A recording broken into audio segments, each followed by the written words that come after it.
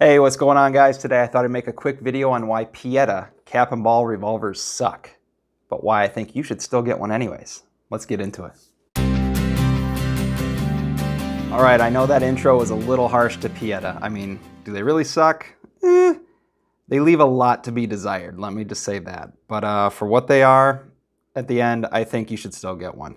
Let's go over um, my experience. Now, let's keep this in mind. I have a limited experience with one Pietta. I've had this for one year now. I'm just gonna go over what sucks about it, what you might expect from yours as far as the quality and whatnot, and then uh, again, why you should get one.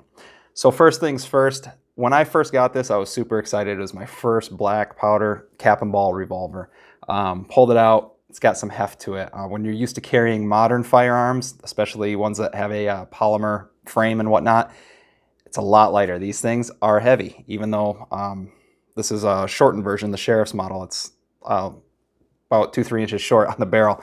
But uh, anyways, I pulled this out. On the 10th time, when I pulled the hammer back, the hammer bolt spring on the inside of it snapped in half.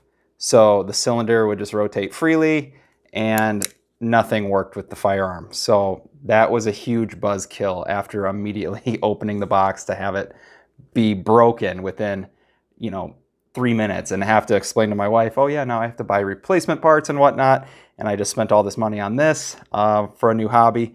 Uh, she wasn't impressed. I wasn't impressed. So as far as the internal parts, expect to replace that with any cap and ball, ball revolver that you get. I have another one, a Uberti. I had to replace it on that as well. So the uh, trigger bolt spring looks like this when you get it factory. Let's see if I can get that focused. But it's just a thin piece of metal there. And mine snapped right here on the arm for the bolt and just rendered the whole thing useless. What you want to get uh, through Wolf gun springs right here is one that's basically made out of piano wire. And this will give it a much slicker action. You will enjoy pulling the hammer back a lot more. And it just did another glitch right here that we'll get into next. Um, on this, I believe this is what's causing the problem. I have yet to replace it. The hand spring that goes alongside the trigger, or sorry, goes alongside the hammer. On my Pietta, the thin part right here, that is basically just wedged in there. But this one's secure. This is a replacement one. The one that I have, this wiggles around. So I think that's what's catching. So about every 20 times when I pull the hammer back, it will catch. I probably won't be able to recreate it right there.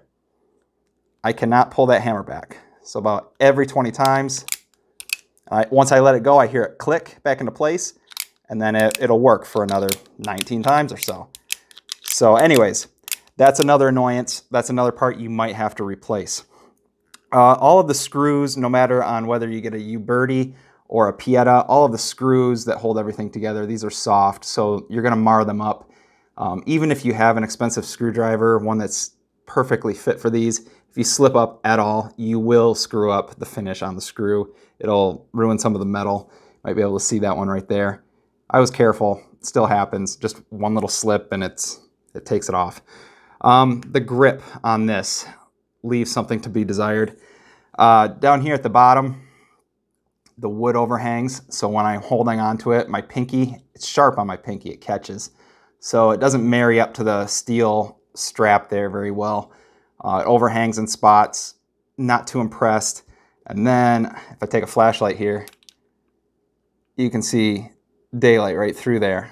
that's another annoyance. Um, but it is what it is. There's not much I can do right now to change that unless I want to work on the grip, and I'm not that ambitious to work on the grip right now. Um, the thing that you'll hear everybody say is the markings. As you can see right there, they plaster their writing all over the barrel. If you see any finish gone on the barrel, that's my fault. That's not the how it came.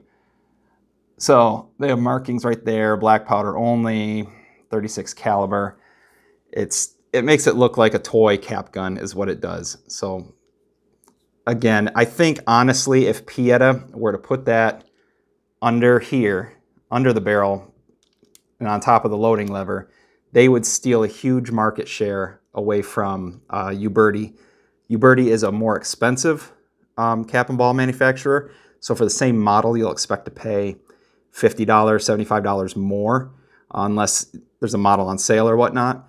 But um, if they were to move that at the price point, everyone would go for Pietta. But when I got my second cap and ball gun, I got a Uberti, and this was on sale, the 1851 Navy, and it was only about $20 more expensive than the Pietta, And at the time, maybe $30. And I, I got this one specifically because I did not want the writing on the side. I just think it looks way more elegant with the, the writing on the side hidden. Uh, the fit and finish on this is a lot better, but this also had hosts of problems. When it comes to aftermarket purchase gunsmithing, I had to do a ton more on the Uberti to get this serviceable than I did on the Pietta. So if we were to go and talk about the gunsmithing aspect, Pietta, it was, with the exception of replacing some of the internal components, just the uh, one spring that I've replaced, I had to replace one internal screw that stripped out, one also stripped out on the um, uh, Uberti. When you replace the trigger bolt spring with the piano wire one, this is actually thicker than the thin metal one that I already showed here. So it's thicker this way. And the screw that holds it in hardly has any threads whatsoever. So the factory screw doesn't have enough threads to bite in and get past the thickness of this piano wire. So you'll push down on it and you'll ruin the threads. So you have to get a replacement um, screw. And I found that, if I can find it here, this, this size right here. If you can go to your local hardware store and get the M4 7 by 5 millimeter screws, and they'll look something like that.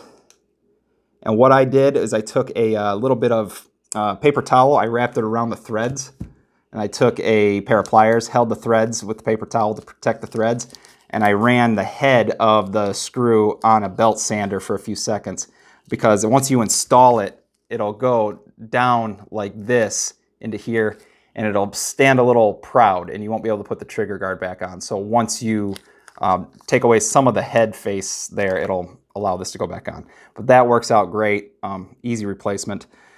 Um, so let's get into why I think you should get a Pietta. Uh, now after I bashed it for a little while with the fit and finish, uh, accuracy, it was fine. It's on par with any other black powder revolver that you're going to get. My Uberti shoots a little bit better because it has a longer sight picture, a longer barrel. So I am a little more accurate with that, but I still group well with this. I don't have any flyers, so I don't have any uh, ch um, chambers in the cylinder that are possibly um, compromised. So everything loads well, functions well, with the exception of the hammer getting stuck every once in a while, which I hope to fix after this video. Uh, but the price point is the major thing that Pietta has going for it for any model cap and ball revolver from Pietta, About the lowest price you're going to see is 250. The highest you're going to see is about 400. Uh, this one was about 330 for the Sheriff's Model 1861 Navy here. Um, but the price point is great. You can get the 1851 Navy from Pietta for about 265, whereas normally this is like 315 uh, from Uberti. Sometime I think they actually marked it up now to 330. I got it on sale for 295, but uh, from Dixie Gunworks, which I recommend purchasing through them. I'm just a little biased on that, but uh, I've had a great experience with Dixie Gunworks. So price point is, I think, the thing that this has going for it, especially if it's your first cap and ball revolver.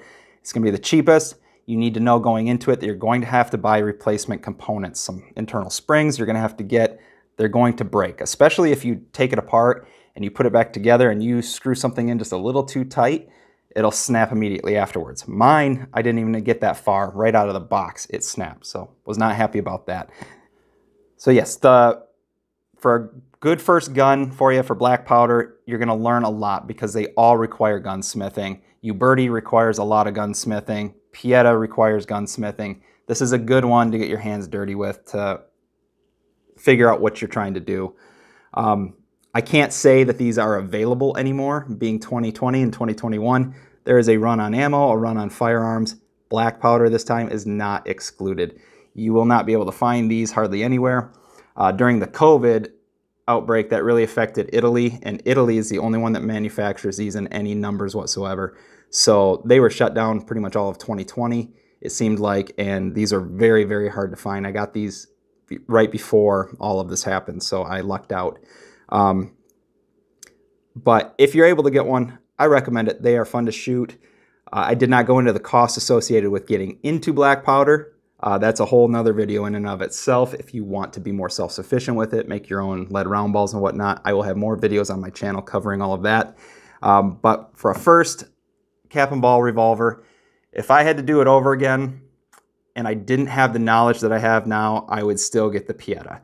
Now that I've worked on the Piettas, done some gunsmithing, and I've done gunsmithing on this one. If I could do it over with my same amount of knowledge that I have now, I would get a Uberti. So take that for what you will. Uh, the last thing I will include is what Pietta has that Uberti hasn't got down yet is the cylinder gap. Now I fixed this one. However, when I got the Uberti, the cylinder gap was atrocious between the forcing cone here and the cylinder. There was a huge gap here that was beyond ridiculous, and you could see tons and tons of daylight. Pietta has their act together for the main reason that they just get all of the tolerances correct. The arbor that runs through the cylinder here, that the cylinder rotates on, it goes into the barrel assembly. This is the perfect length for the barrel assembly. The arbor on the uh, Ubertis is too short, and that just creates problems down the line, and you have to do gunsmithing to correct that unless you just want to tolerate a large cylinder gap that allows powder to flare out of um, your cylinder as you're shooting. Um, this one is great right from the factory. I did no adjustments on this. I cannot slide a 0.006 inch um, feeler gauge through here whatsoever. The tolerance is right at 0.005. And I can get a feeler gauge in there. So that just goes to show the tolerances that they have right from the factory. That's that's perfect um, without slicking up the gun any further. That is a perfect, perfect uh, um, cylinder gap there. So anyways, pick yourself up a uh, Pietta. If you are a Pietta hater and you have specific reasons why, please leave the comments down below. If you are a fan of Pietta and there's a reason that I missed, I'd like to hear that as well. Um, if I had to get another one going forward, it would be Uberti. Getting a Pietta though, it's not off the uh, not off the radar. And uh, the last thing that just came to mind when I said that is that Pietta makes a lot more makes and models that I've seen anywhere where I've looked online. Um, and they make a lot of uh, reproductions that didn't exactly exist in history, a lot of brass frame models or whatnot. But you'll be able to find a greater selection with Pietta than you will Uberti, but Uberti is usually more historically accurate with their reproductions than Pietta. Anyways, hope you enjoyed this video. Hope this helps you uh, make a decision on whether you want to get a Pietta or not, and uh, thanks for watching.